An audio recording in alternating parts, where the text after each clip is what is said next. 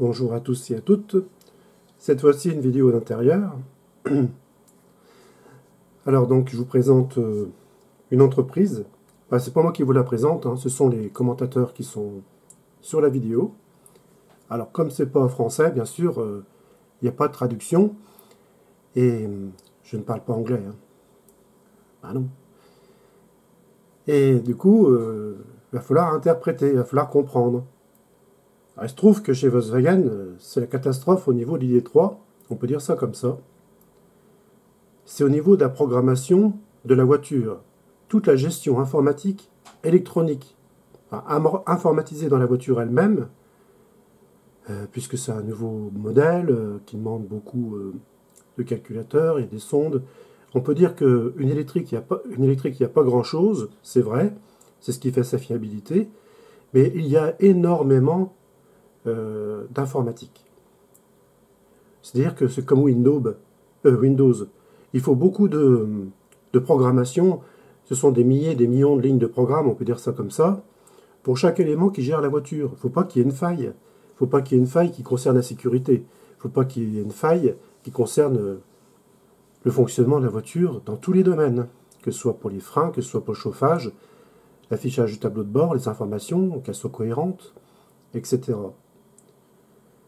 Alors, euh, ça me fait penser un petit peu à la Zoé, qui est sortie quand même fin 2012.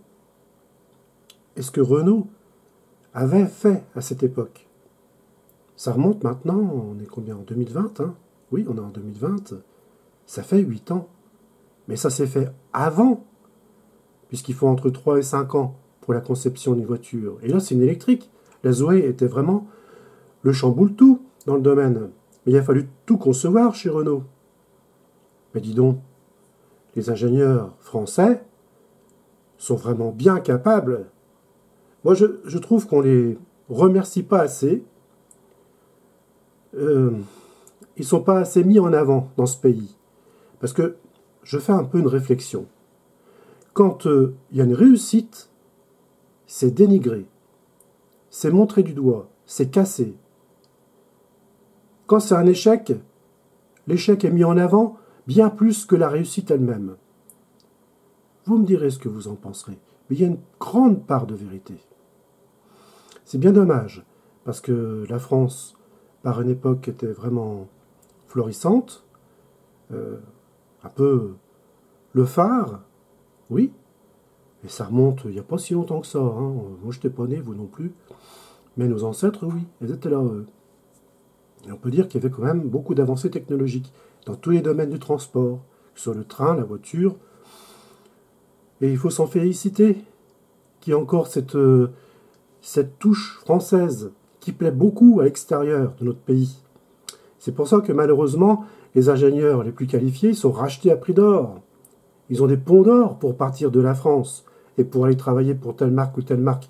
Peu importe, ça peut être dans l'agroalimentaire, dans la chimie, dans la mécanique, dans l'ingénierie, dans la chimie. Alors, euh, vous voyez, je parle un petit peu d'un ensemble de choses, mais il faut bien, faut bien se rendre compte que on n'est pas dans un, pays pauvre dans, la recherche, dans la recherche. On est riche dans la richesse de la recherche, dans ce que ça nous apporte. Mais, voilà. L'époque veut que maintenant c'est la mondialisation, tout s'achète, tout se vend, que quand il y a une défaillance quelque part, tout s'écroule. On voit en Chine. Donc, bah, on en est à ça. Vous m'excuserez pour toutes les parenthèses que je fais, pour tous les écarts. Hein. c'est toujours mon thème, à moi, c'est comme ça. Maintenant, on va voir un peu cette entreprise.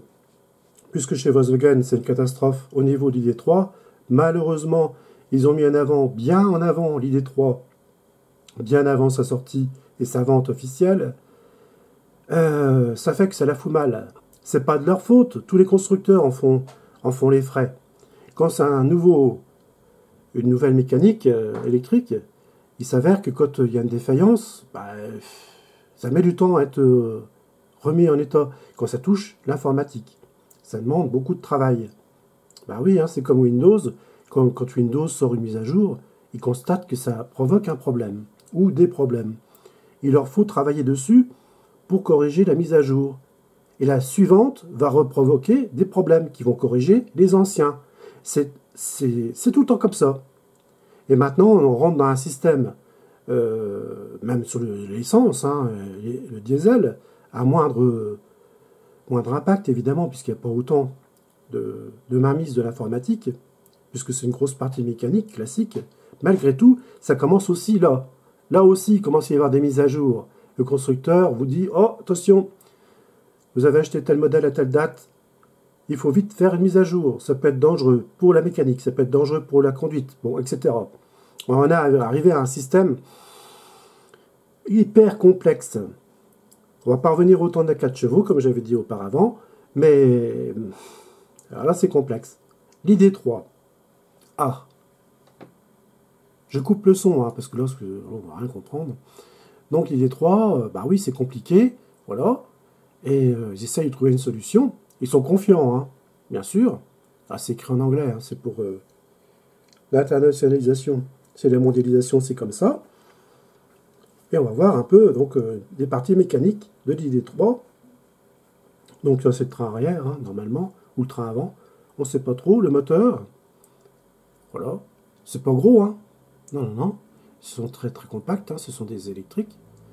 Transmission euh, Madine euh, sous euh, la Caroline du Sud. Voilà. toujours la Caroline du Sud. C'est allemand.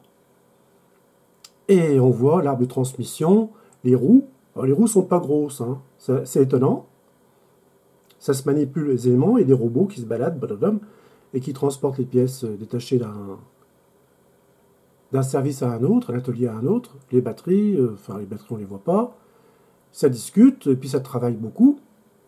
On voit, hein, c'est gros, c'est gros. Mais ça tient pas de place. Voilà, ça c'est bien.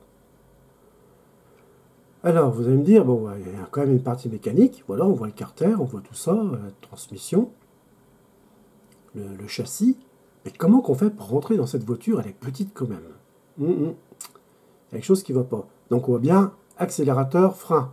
Et c'est tout. Et l'autre pédale à gauche, ça c'est nouveau. C'était pas indiqué par euh, Volkswagen. À quoi elle sert? Je ne sais pas. Pour l'instant, on ne sait pas. Hein. Il y a un levier de vitesse. Ah, ça c'est bizarre. Donc on voit quand même qu'il y a beaucoup de problèmes. Il y a un ventilateur. Mais c'est bizarre, ça ressemble pas à un moteur électrique, ça, cet ensemble-là il y a un radiateur à l'avant. Oui, oui, il se pose des questions, est-ce qu'on ne s'est pas trompé? C'est ça le problème. Et ici, Yanmar, Japon. Ah, est-ce que c'est le robot qui vient du Japon ou c'est tout l'ensemble? Je pense que c'est le robot hein, qui transporte tout l'ensemble qui vient du Japon.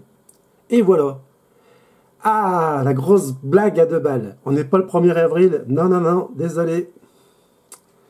Non, non, non, on est dans du lourd.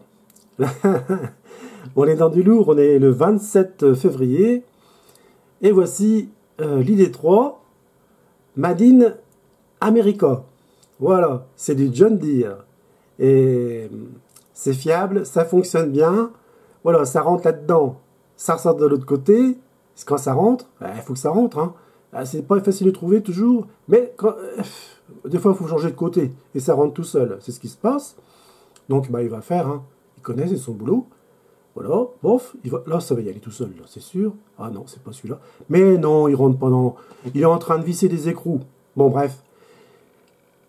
J'en suis à devenir euh, comique. Bah, c'est tragicomique, hein. Mais c'est comme ça.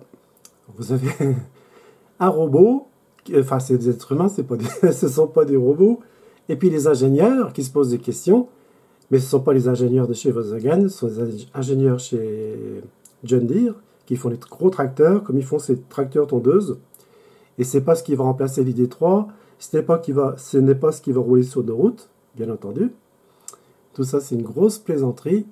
Et c'est pour aussi mettre en avant, euh, quand même, malgré tout, que d'ici l'année prochaine, on n'est pas sûr d'avoir une ID3, du moins pas cette année, pas en 2020, tellement c'est énorme le problème qu'il y a au niveau de l'informatique. Alors les ingénieurs chez, chez Renault les ingénieurs français et même les programmeurs, bah, je dirais chapeau, parce que même s'il n'y a pas de régulateur adaptatif, ni le correcteur de trajectoire performant, on a quand même une Zoé qui est vraiment performante, elle, pas tant mieux.